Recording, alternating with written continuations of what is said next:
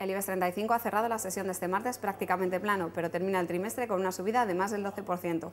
Así, el selectivo ha sido capaz de volver a niveles que no veía desde abril de 2010, cerrando su mejor primer trimestre desde 1998.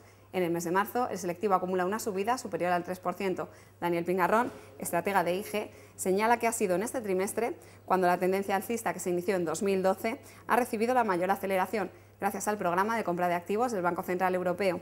En el plano técnico, el IBEX ha cerrado cerca de la resistencia que presenta en los máximos de la semana pasada, en los 11.618 puntos. Según José María Rodríguez, analista técnico de Bolsa Manía, hasta que no se confirme la superación de este nivel, no tendremos la señal que necesitamos para volver a apostar por un, movimiento de continuidad alcista hacia los 12.000 puntos. Eso es todo, más información en Bolsa Manía.